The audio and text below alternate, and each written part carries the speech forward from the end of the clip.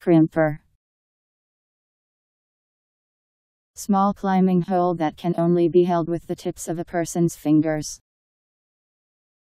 Hairdresser. Someone who adds pleats to fabric for clothes, drapery, etc. C R I M P E R